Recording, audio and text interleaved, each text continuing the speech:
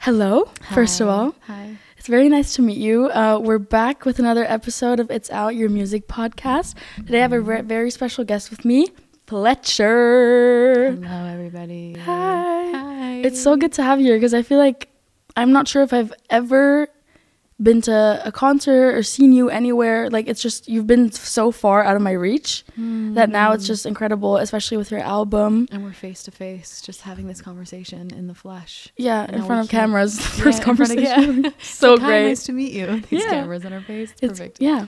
Do you have some sort of connection with Berlin, actually, or have you ever been? Um, I've been a couple times before. Yeah, I've played a few shows here. I played um, like one of my uh, around the corner, like one of my the first venues that I've ever played in Berlin. It was like a little club, and Cute. Yeah, and then I'm gonna be back here on tour in That's April, exciting. which I'm so excited about. And it's been a minute since I've gotten to play a show here, Mhm. so yeah, my my connection.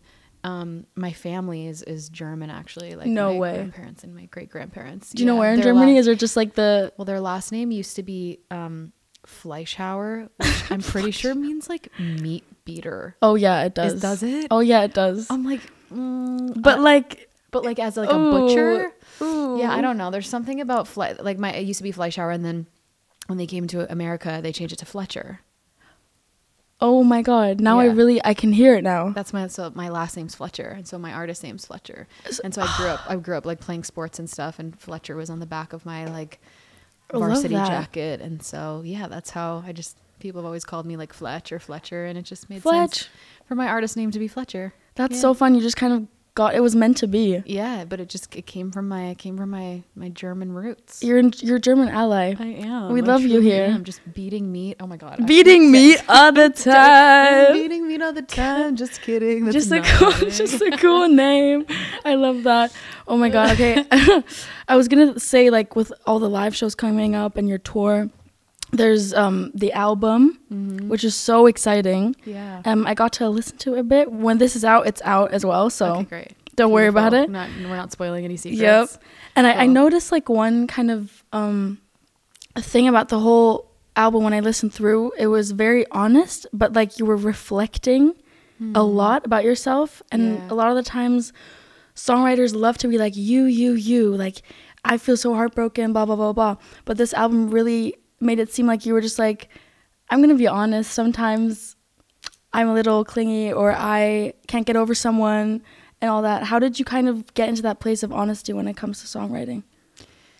I appreciate that perspective so much because that was truly like one of the deepest intentions of the album was to reflect from a space of like my own emotions, my own feelings, my own Yeah. accountability, like things that I wish I had done differently, things that I regretted, things that I all the ways that I don't know if my like ego needed to write a song about feeling jealous or Yeah. it's all like an exploration of my own inner world and not projecting in the past of being like you did this and hmm. you did this and you did this because such a big part of my healing process and journey is Yeah. like I am accountable for like the things that have happened in my life, the way that my breakups went, the hmm. way like I am not a victim to what like the what has ha- like the way that my life has unfolded. Like I Yeah. have been an active participant in all of it. And so having that like lens flip of hmm. like well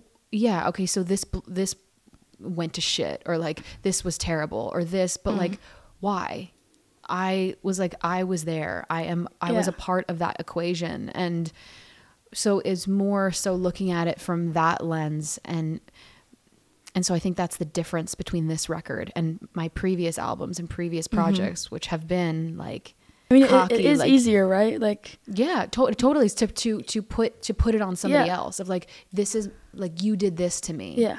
Versus like I did this to me, exactly. And I'm and I want to look at why and like so to not like repeat that. Like I want to I want to have growth. I want to be a better person. Mm-hmm. I want to be a that. better partner and like happier.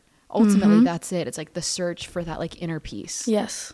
Even though like the things that you went through or the things you did or somebody did to you aren't great, it still makes it kind of like this nice experience of growing and learning. Totally. Because in the end they did happen, but you're still able to kind of reflect on them and be a better person after. Yeah, because it's also like it's an experience to it's an opportunity to know yourself at a deeper level. Yeah. You know? It's just like Life feels better. Like genuinely, it just feels better. Everything that you do.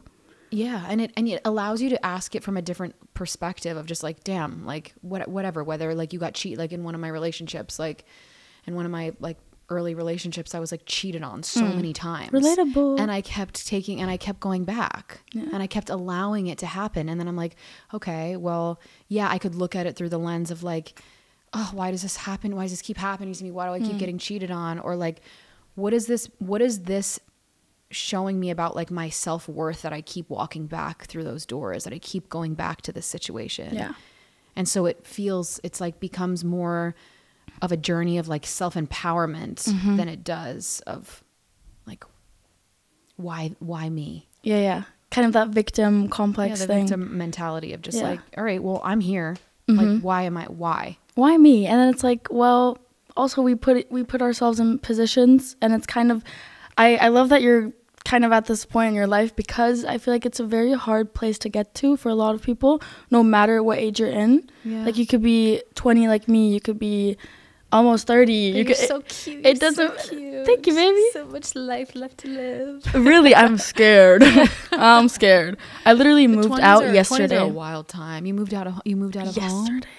My You mom was like, no. Oh, she's growing up. Yeah. When did you move out for the first time? Um, it's been it's been back and forth. Like I moved Mhm. out for college. I moved out when I went to Oh, college. you went to college. You got the college Yeah. lifestyle. Ooh. Yeah, and then but just like last year, I like moved back in with my parents Oh, for a little bit because I was like navigating some health stuff and Yeah. not feeling well, and so I was like kind of craving that That kind of home yeah feeling, that, and the that sort of maternal family support, which I was like so lucky to be able to to have in that Yeah. moment. Um, but yeah, it's just it's a it's a yeah it's such a journey. It really Like, is. Yeah, your twenty the twenties are they've been a wild ride. The ride. twenties are wild. Yeah. I'm excited.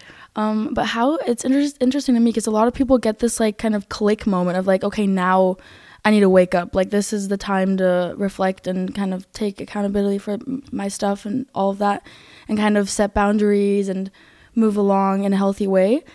What triggered that? Because sometimes you have to go through a lot of shit to get to there. Yeah. or there's a certain person that kind of that was like hey and inspired you or did you read a lot of stuff or what kind of brought you to that place because Yeah. it just doesn't come out of nowhere Totally. I think it's like it's for me it was a it was compounded over time. I think there were so many moments. There was just like between that being like being on the road and touring so much and like pushing my body like way past the point of it like needing rest and me like not listening to it or staying in relationships for too long or like all or you know br- like breakups that were really tragic and just sent me on this like crazy tailspin and spiral. And i think i just had like an icing on the cake moment and just yeah last year i just was like i had gotten really sick. I was diagnosed with lyme disease and oh um, which honestly just like really gave me and it, I was creating my I was writing my album. I was writing this album at the same time in search of the antidote. And the antidote has been like many things for me throughout my life. Mm-hmm. It's been like girls I've dated. It's been you know the fans like the road it's been tequila It's been I love me some good tequila love me some good tequila girls and tequila are just a good combo guys They go together so they do. well. It's like girls and tequila. Mhm. should make a song just called that, Girls just that with the handshake emoji. yeah Um, but yeah, that that that was a serious topic so sorry I didn't mean to be like No, girls and It's- tequila no, it's all it's it's the balance. uh-huh. love that Um, but it's been you know it's been the all of those things have been antidotes at different times. And yeah this past year it was something different. And it was hmm. like looking at my relationship to my health and my body and all the ways that I was like ignoring it and like unprocessed feelings and emotion and mm-hmm. so much time that of the time that ends up turning into sickness like turning Yeah. into illness when there's just so much like unprocessed in the body. Mm-hmm. And that really was sort of the like icing on the cake for me to be like whoa dude. Yeah. like the all the way that i am like going at this right now and like living my life and it looks one way online and it looks like oh she's here and she's doing this mm. and she's on this show with this person and and then i was feeling like shit. And so that that was why because i was like this this is not going to end this is not going to end well. This It's is not exhausting, end in a space that is like it's just it's not it's not sustainable and so that was the that was a really big moment for me that i was just like something has to be different Yeah. It was like the limit and you can feel it and then I love that our bodies and our brains communicate like that though because in the end it's interesting how much power our brains have over our bodies and when it comes to a point that you're so I would say broken or hurt Mm-hmm. that it kind of projects onto your health. fully It's insane.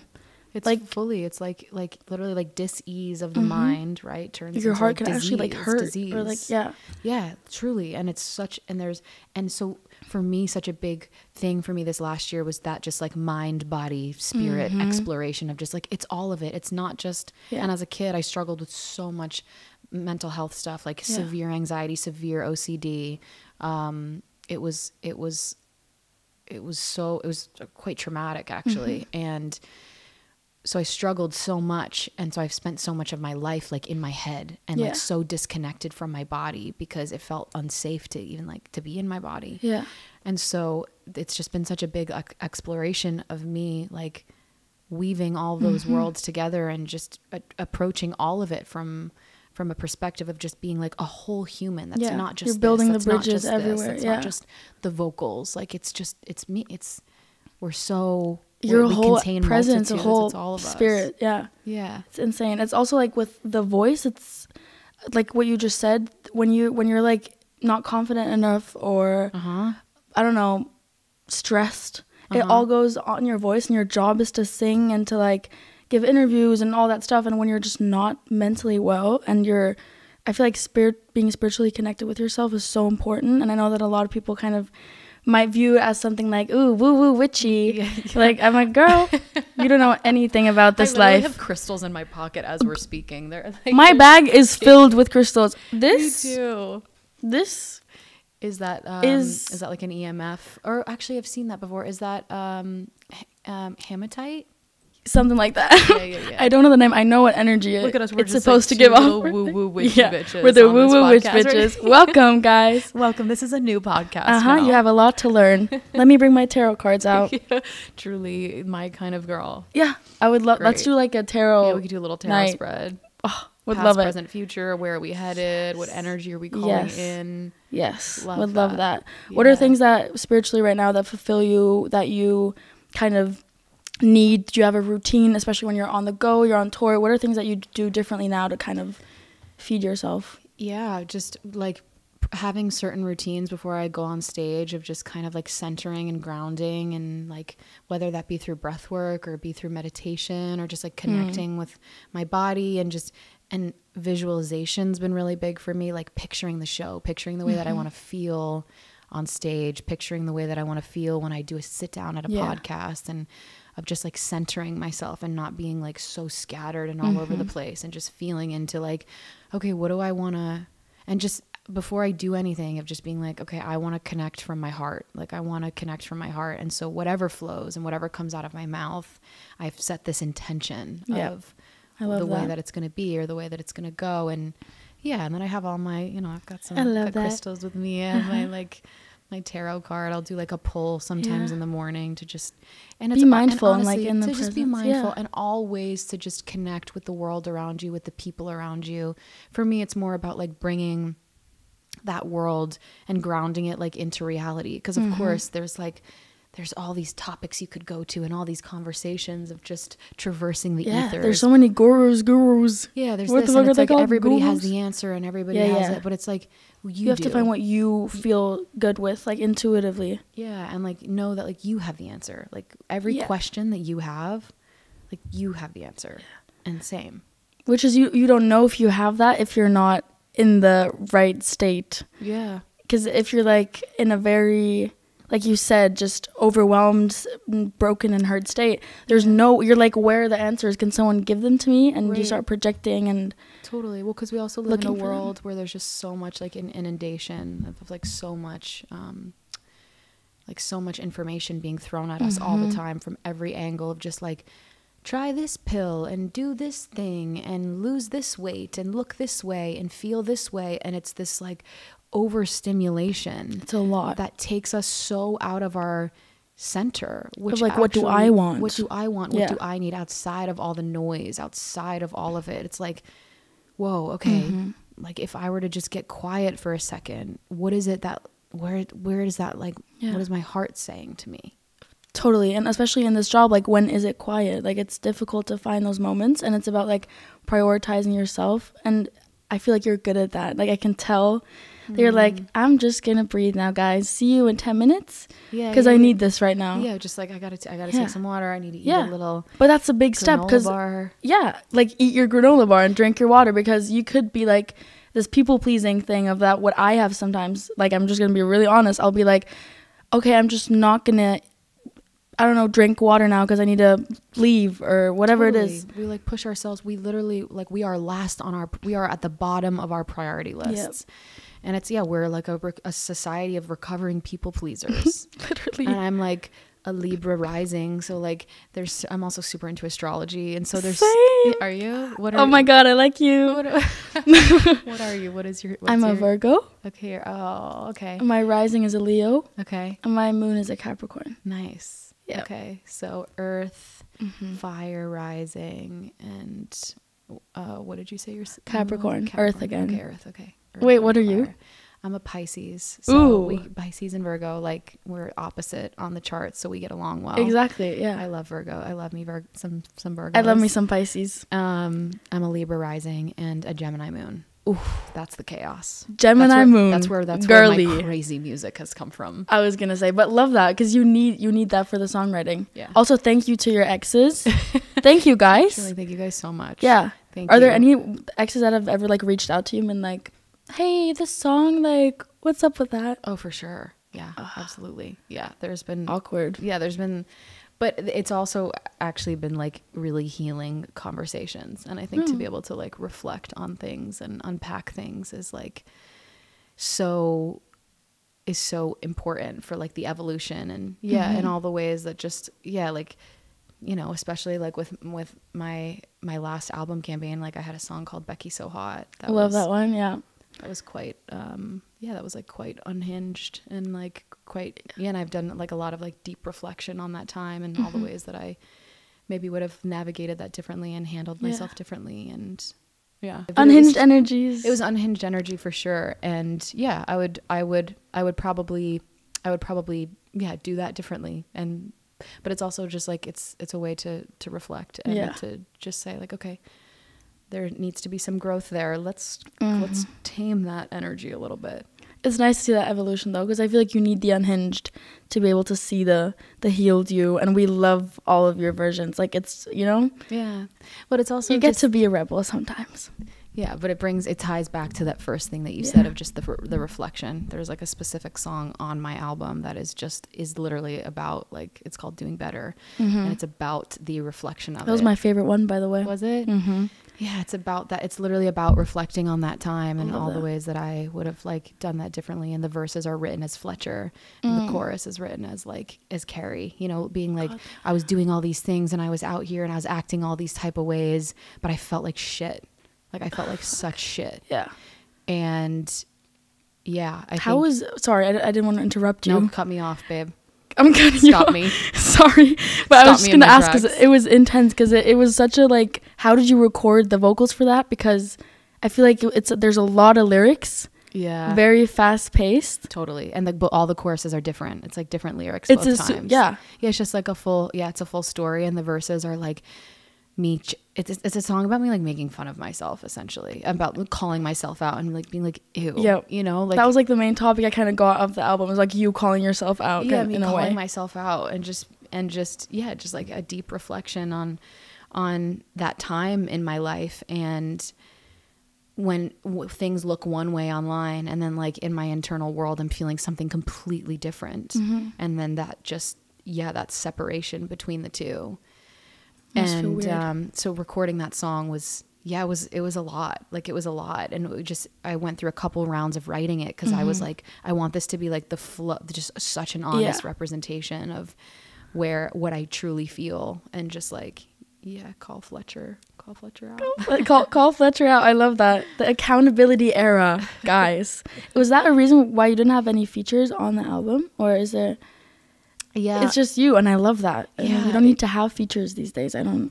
I just if if if the feature feels like it comes about in an organic and natural way and feels um yeah, like it Mm. aligns.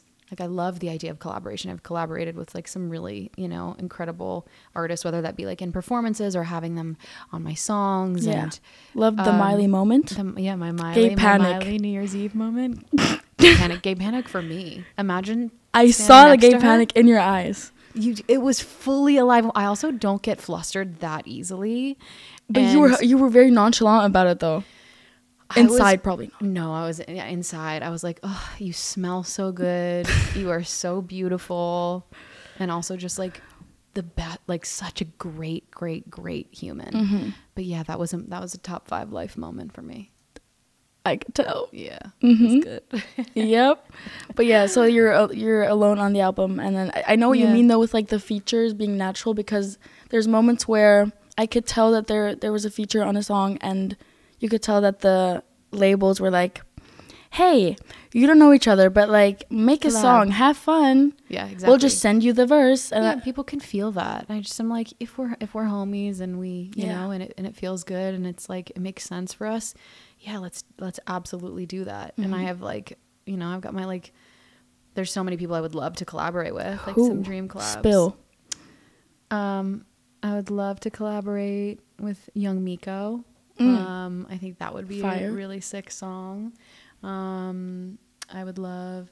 I love Noah Kahan. Mm-hmm. I think he's Ooh. so talented, and just like the f- like the the sort of like folky, like gritty energy. I think Yeah. would be really special. Kacey Musgraves, icon. yeah, living Yep. legend. Um, She's going on SNL now. I heard is she she's the next runner-up. a deeper well, baby? Give us that. Mhm. Give us the tease. Yep, Sydney Sweeney, Hot. Kacey. cool. Mm-hmm.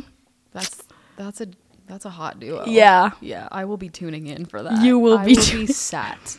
We will be sat and I will be glued. sat and staring. And No one speak to me. Nobody talk to me. I'm taking No. that day off. You hear that, team? I'm Day off. Taking the day off. Thank you. Don't schedule me for anything. Yeah. Well, we're being told to shut up. Actually, it was like the Grammy moments where they were they were like, "Please stop talking." Yeah, literally being like, shh, Yeah. don't speak. I can Yeah. literally see you being on stage and like everyone just wanting you to keep speaking, and the Grammys just being like, Imagine that though. You're getting up, giving your like pouring from your heart, like the most exciting Yeah. like acceptance, and it's like get off the stage. It's like yeah, you have to end now. "Like, thank you, mom. You're crying. It's your Yeah. first Grammy." Yeah. What the hell? Heartbreak Truly. moment. Manifesting all the awards for us though, and us getting to give our Yes. full speeches. Let's drink some tequila there. truth. Yeah, we'll drink some tequila there. We'll be at We'll- the same balance table. too. We can have like a little like tea, you know, and just like ground and feel centered, Yes. and then we'll like take a shot. Yeah, it's all about the foundation. Yeah, exactly. We'll have And crystals in our pockets. The The, intention. intention. Why are you drinking? Like that's that's when that's a big thing. It's like why is it because I Yeah. feel really insecure and nervous right now, or and that I feel like I need to mask something, Could or be. is it could be? That's always a possibility. Yeah. Or do I just like want to Celebrate. Do I want to celebrate? Yeah. And just like feel free. Just and the community vibes. Totally. Yeah.